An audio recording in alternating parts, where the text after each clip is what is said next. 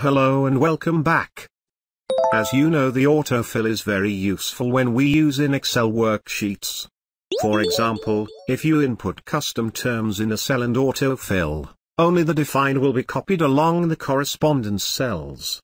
However, if you put month or weekday and fill automatically, it will change the automatically to the defined month or weekdays.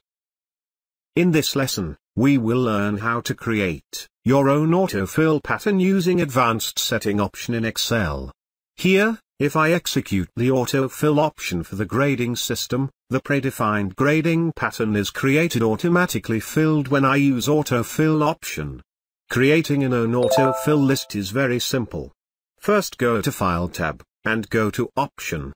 From the Excel option window, click Advanced option. Scroll down to the bottom, then choose Edit Customer List under General option.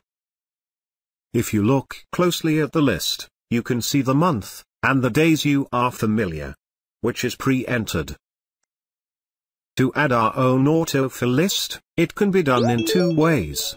Either you can directly input the list you want here, or you can import from the cell ranges. First, we will use direct entry option. For this, select new list option from the top, and I will input the grading pattern. Like, excellent, very good, good, average, and poor. The second option is to import the list from the cell ranges. Now we will use the second option to import the list from the cell ranges. I will delete the previous custom list. Click the small arrow button here.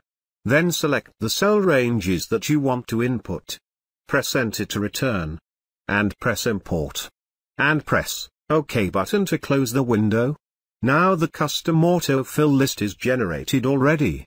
Now if you may enter any item between from the grading pattern.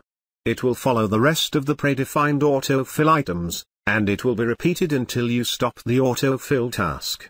However, this custom autofill list can be used only in the registered PCs.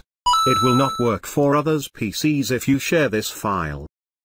If you have additional questions, please leave a comment. I hope this video was useful one for you.